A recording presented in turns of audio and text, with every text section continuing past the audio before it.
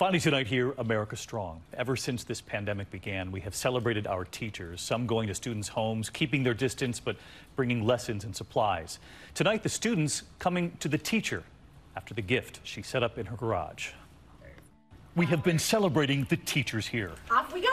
Some going to children's homes with lesson plans, Hello. Oh my goodness. the air hugs, Give me a. Big, big hug, Risha.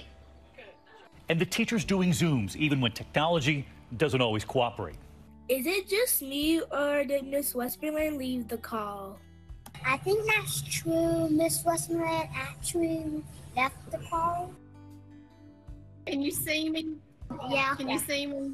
And tonight in Austin, Texas, Gilbert Elementary School third grade teacher, Miss Jennifer Martin, turning her garage into a library for her students learning remotely and for the other children in her neighborhood. The closest library is 15 miles away, so she opened her own.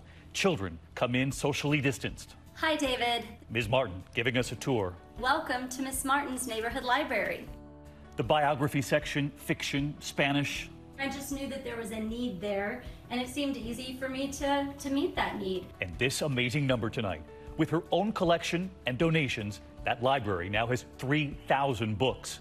And those books tonight home with Abraham, Javier, Juliana, Hi, David. and Ms. Martin's library assistant, Julia. We needed a library around here, and this is perfect. Thankful for her teacher and that library in her garage. Keep the donations coming to Ms. Martin. We love our teachers. The ABC Town Hall with Joe Biden, 8 p.m. Eastern. Good night. Hi, everyone. George Stephanopoulos here. Thanks for checking out the ABC News YouTube channel. If you'd like to get more videos, show highlights, and watch live event coverage, click on the right over here to subscribe to our channel. And don't forget to download the ABC News app for breaking news alerts. Thanks for watching.